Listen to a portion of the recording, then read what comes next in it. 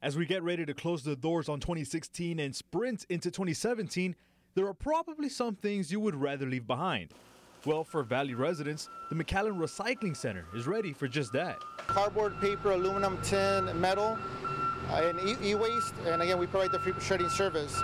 Trevino says the week after Christmas is the busiest time of the year for the center. We probably increase about 20, 30% more mature than we normally get this time of the year.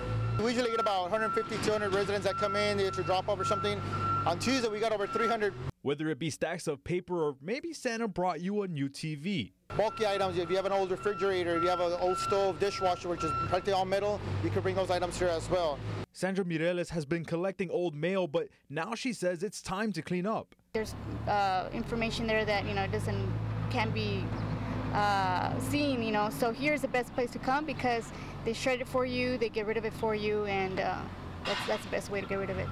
The center partners with a company in Brownsville to help break down metals and clean out old computers and hard drives so that all the personal data is safe and doesn't wind up in the wrong hands.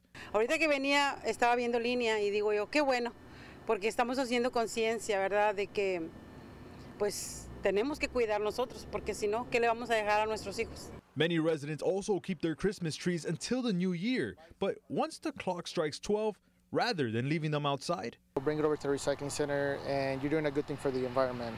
in Hidalgo County, Patrick Shalvier, CBS 4 News and ValleyCentral.com. City of McAllen officials say they break down Christmas trees to create a pine fresh mulch, something that will be available for purchase later on in the year.